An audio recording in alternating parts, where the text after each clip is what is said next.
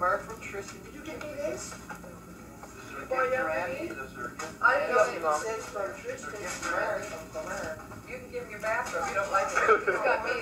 But you got one Yeah, like uh, I'll just take out, I'll take the leftovers. All the Yeah. stuff you guys already exchanged. 1988. It doesn't say Harley Davidson. that? No, it doesn't. It doesn't. Supposed to. I can't wear anything that doesn't say Harley Davidson. I can wear that. though. Guns N' Roses. Thank you, dearie. All right, New uprising band. You have to cut the sleeves on. Yeah, I've got some. for I can't 89. Looks like your bike. I know, but I can't wear.